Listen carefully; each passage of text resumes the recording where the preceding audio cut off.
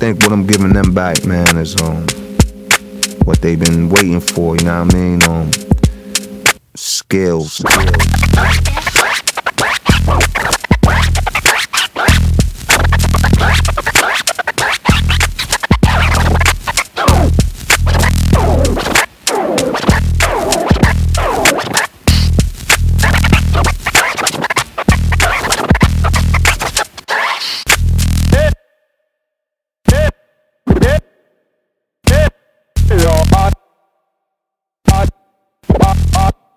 Yeah.